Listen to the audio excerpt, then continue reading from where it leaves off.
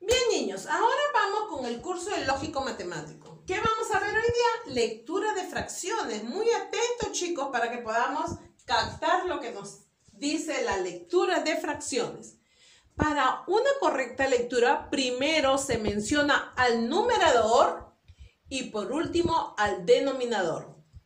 Quiere decir que el numerador, en este caso tenemos 5 sextos. El 5 es el numerador y luego el 6 es sextos. Se lee sexto. Muy bien en los quebrados o en las fracciones. Tenemos acá, el denominador se lee, o sea, la parte de abajo de las fracciones, ¿no? Me, dos medios, tres tercios, cuatro se lee cuartos, cinco se lee quintos, seis se lee sexto, siete se lee séptimos, ocho se lee octavos, nueve se lee novenos, diez se lee décimos, cien se lee centésimos. Tenemos la imagen también de tres se lee 3 sobre 12, ¿no? Se lee 3 doceavos. Bien, ahora vamos, dice, si el denominador es mayor a 10, se lee la terminación avos. Esto es muy importante. ¿Correcto? Si el denominador es mayor a 10, se añade la terminación avos. Como dice acá, doceavos. Ahora vamos, dice, traza líneas para unir cada fracción con su respectiva lectura.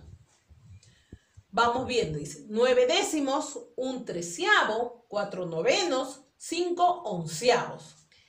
Y al costado tenemos las fracciones. Bien, ahora vamos a relacionarlo, vamos a trazar las líneas para unir con su respectivo este, lectura. Tenemos nueve décimos. ¿Cuál sería? 9 decimos. Ustedes tienen que darse cuenta porque acá dice 9. Y luego decimos décimos. Primero es 9 y luego décimos. Décimo es ese 10. 9 décimos. Muy bien, entonces vamos por aquí. Ajá, correcto. Luego tenemos un treceavo. Un, se está hablando de uno, treceavo, de 13. Acá está un treceavo y vamos a unirlo. Muy bien. Después tenemos cuatro novenos. Cuatro novenos. Y ya lo ubicamos, ¿no? Cuatro novenos. Luego tenemos cinco onceavos. Acá está cinco onceavos. Y nos vamos por aquí. se dan cuenta, nos dijo, ¿no? La lectura dice, para una correcta lectura, primero se menciona al numerador y por último al denominador. Nueve décimos, y acá está nueve, décimos, diez. Un treceavo, cuatro novenos, cuatro novenos, cinco onceavos. Muy bien, ahora sí. Vamos con la siguiente. Coloca las fracciones correspondientes. Tenemos las lecturas.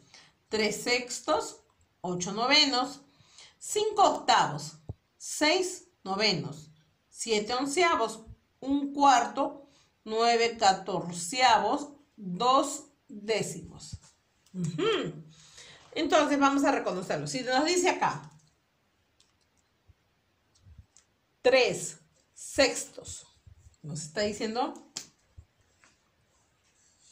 3 y como acá sextos, ¿no? Sexto. Entonces va 3 sextos. Muy bien. Ahora vamos con la siguiente. Nos dice 8 novenos. Acá arriba es 8. Bien. En el numerador es 8 y en el denominador dice novenos. A ver, novenos, octavos, novenos, nueve, muy bien, nueve. Ocho novenos. Luego tenemos cinco octavos. En el numerador nos está dando cinco. Y en el denominador dice octavos. Octavos, recuerde, octavos, de 8, octavos, vamos a ver, octavos, muy bien, 5 octavos. Tenemos 6 novenos, en el numerador va el 6 y novenos nos habla de 9, novenos, muy bien. Hasta ahí estamos bien. Vamos a, resaltar la, línea del quebrado. Muy bien. Ahora, abajo tenemos 7 onceavos, un cuarto, 9 catorceavos, dos décimos. Ya ustedes lo van a terminar de desarrollar. Y este, para que puedan practicar y cualquier inquietud o cualquier eh, pregunta que tengan, se comunican conmigo. Bien chicos, nos vamos a quedar aquí. Hoy viernes, día de fin de semana, completen sus tareitas para que sábado y domingo puedan estar tranquilos, descansando. De todas maneras, practiquen niños, por favor. ¿Ok? Bueno chicos, un besote inmenso. Nos vamos de fin de semana a descansar cuídense un montón, no salgan, no estén jugando en la calle, menos sin la mascarilla, ¿correcto? Y lávense constantemente las manitos con agua y con jabón, chicos, que es muy importante. Y lo principal, como siempre, yo me cuido y tú también. Chao, nos vemos, niños, chao.